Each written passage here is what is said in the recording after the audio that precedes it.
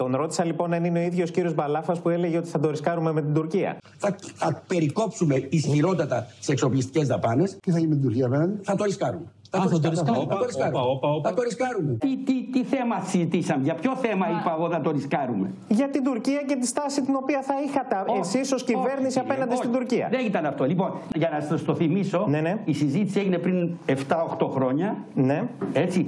Ήταν άλλες τελείως συνθήκες. Η συζήτηση αφορούσε τη δυνατότητα αμοιβαίας μείωσης των εξοπλισμών. Τα λέμε στο πρόγραμμά μας, αλλά θα τα πω και προφορικά τώρα. Λοιπόν, πρώτα απ' όλα, δαπάνες. Θα, θα περικόψουμε ισχυρότατα τι εξοπλιστικές δαπάνες. Ναι. Αμοιβαίας μείωση των εξοπλισμών που καμιά σχέση δεν έχει με τα σημερινά. Καμιά σχέση.